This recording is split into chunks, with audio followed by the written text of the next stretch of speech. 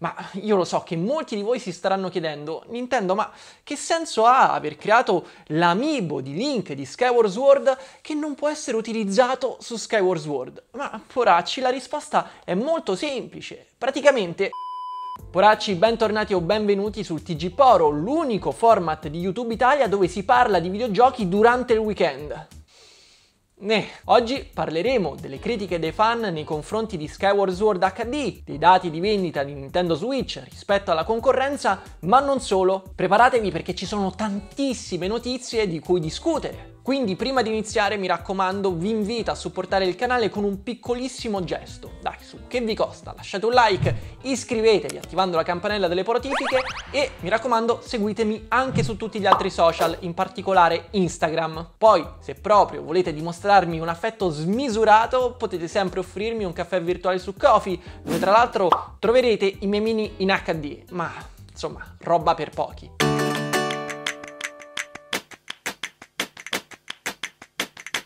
Partiamo con qualche notizia da trattare al volo. Sony e Naughty Dog hanno deciso di sorprendere gli utenti PS5 con una patch improvvisa. Si parlava da molto tempo infatti di un possibile aggiornamento che avrebbe trasformato The Last of Us Parte 2 in un'esperienza next gen e la patch è arrivata di soppiatto prendendo tutti controtempo. Grazie a questo update gratuito gli utenti potranno scegliere dalle opzioni se abilitare o meno i 60 fps, incrementando notevolmente la fluidità di gioco, oltre ovviamente a tutti i benefit che derivano dall'avviare il gioco uscito per PS4 lo scorso anno in modalità retrocompatibilità su PS5. La cosa più interessante è che per Naughty Dog questa patch è solo l'inizio e lo studio sta iniziando a prendere confidenza con il nuovo hardware. Staremo a vedere cosa ci sapranno regalare gli autori di Uncharted anche su PS5. Passando alla Switch abbiamo un'altra grandissima aggiunta alla sua lineup. Nino Kuni 2, seguito del JRPG sviluppato da Level 5 in collaborazione con lo studio Ghibli, arriverà finalmente anche su console ibrida. Si erano perse le speranze per questo porting, uscito originariamente nel 2018, eppure Nino Kuni 2 avrà la sua versione per Nintendo Switch. Tra l'altro questa Prince Edition comprenderà il gioco base più tutti i DLC usciti nel corso degli anni, senza contare che dovrebbe avere anche una release fisica prevista per il 17 settembre di quest'anno. Lo prenderete? E porca miseria se sono emozionato, ma Deep Silver ha annunciato il ritorno di una serie serie storica, quella di Time Splitters. Poracci, molti di voi non si ricorderanno di questo FPS, ma vi garantisco che in particolare il secondo episodio è stato forse uno dei miei giochi preferiti in assoluto di sempre, l'apice del multiplayer in split screen non a caso il team dietro alla trilogia originale, quello di Free Radical Design, raccoglieva tantissimi talenti che avevano militato nella Rare dei tempi d'oro. E oggi, dopo anni di rumor, tentativi di reboot e remake, Deep Silver ha finalmente annunciato che Time Splitters ritornerà e saranno proprio i ragazzi di Free Radical, con un team messo su per l'occasione, ad occuparsi del progetto. Siamo ancora lontani eh, dal vedere qualcosa, ma io non sto proprio nella pelle. Se non avete mai giocato a un Time Splitters, beh, non sapete cosa vi siete persi. Inoltre Nintendo ci ricorda che questo giugno arriverà la prima ondata del Season Pass di Hyrule Warriors, l'era della calamità. Non si sa ancora la data precisa, ma nel trailer viene fatto un breve accenno a tutti i contenuti aggiuntivi che si otterranno a giugno e a novembre, tra cui spiccano sicuramente il roster espanso e le nuove sfide. Il 28 maggio, come pre-order bonus, si potranno scaricare anche un'armatura e un'arma aggiuntive per Link, e della prima è stato condiviso uno screenshot sul profilo social del gioco. Darete una chance a questo Season Pass oppure per voi Age of Calamity ha già detto tutto quello che aveva da dire?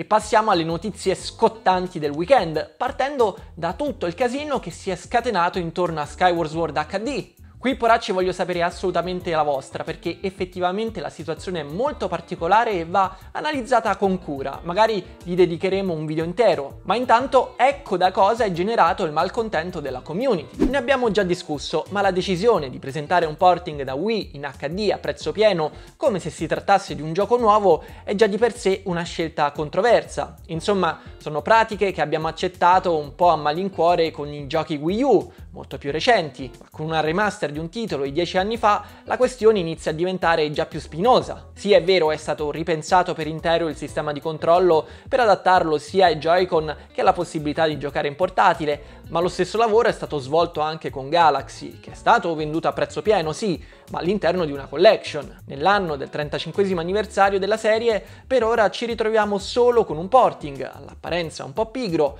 quando poi il gioco originale veniva venduto in una bellissima edizione celebrativa con tanto di controller dorato e colonna sonora. Qui invece i Joy-Con andranno comprati a parte, così proprio come l'Amiibo, venduto tra l'altro a prezzo maggiorato. Anche qui il confronto è quasi automatico, ben diverso trattamento avevano ricevuto Wind Waker e Twilight Princess su Wii U, dove il secondo veniva venduto non a prezzo pieno con tanto di amiibo e colonna sonora inclusi nel bundle. Quindi si parla di 60 euro di gioco, 80 di Joy-Con e 25 di amiibo per avere il pacchetto completo.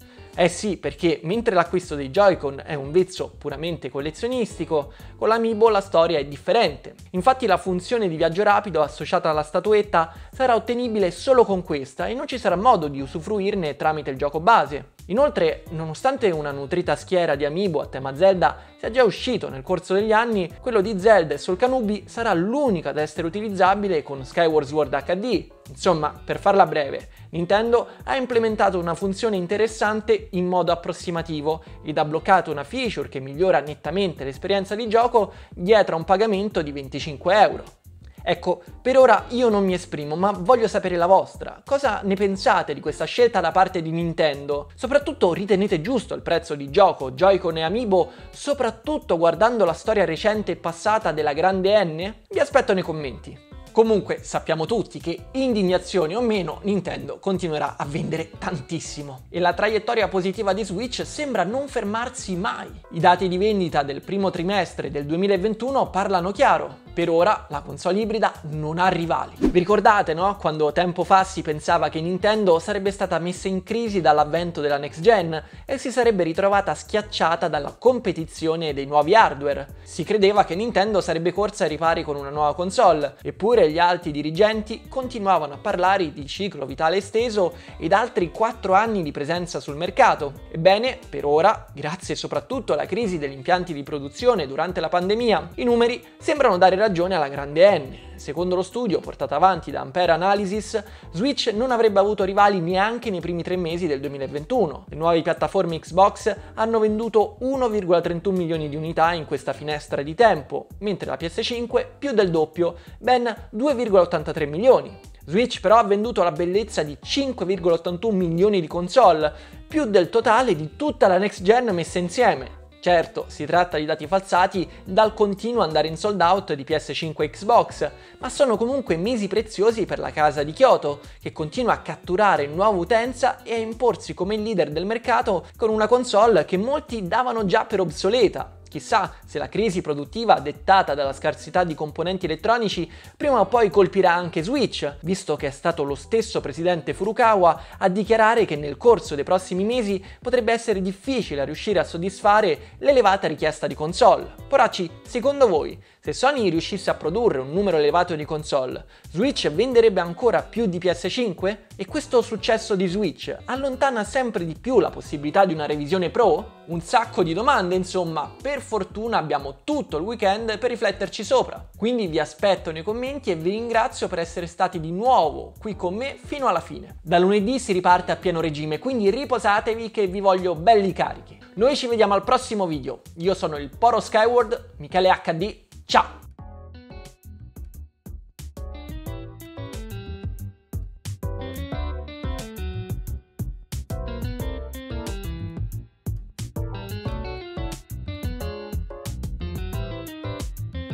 Praticamente